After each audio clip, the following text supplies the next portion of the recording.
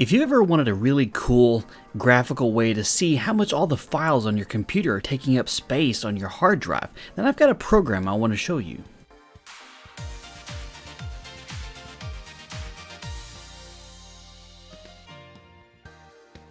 Hello everyone and welcome back to CappTech.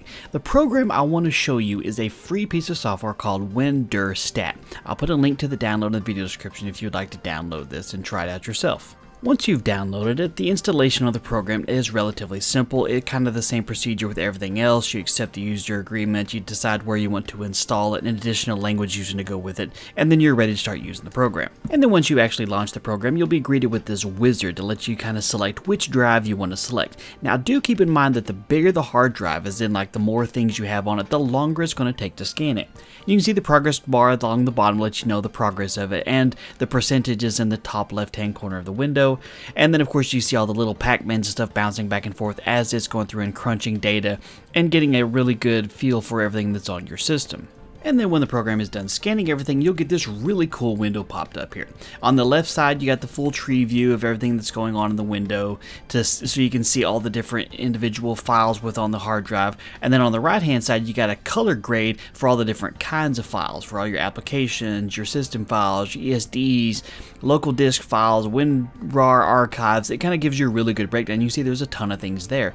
And then of course you got a ton of different menu options along the top if you want to go through those as well. But one of the coolest things that you can do within the program is you can click on any of the colored squares down there, whether it's the big ones or the little ones, and it'll highlight and tell you exactly which file it is and stuff. So you can see exactly how much individual files are taking up. Of course, the bigger the file, the larger the amount of space it's taking up on the hard drive. And that is just kind of cool, just to be able to see how much space each one of the different kinds of programs are taking up.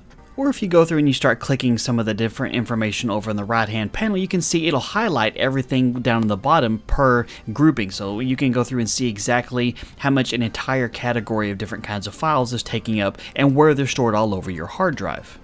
And another thing you can do on the tree view of all the files on that specific hard drive, all the folders there, if you click on the individual folders, it'll highlight an entire chunk of file groupings. So you can see how much specific, like your user data file, you can see how much space it's taking up on that specific hard drive, and then you can click within that and it'll give you a breakdown of which files are taking up the largest chunks there.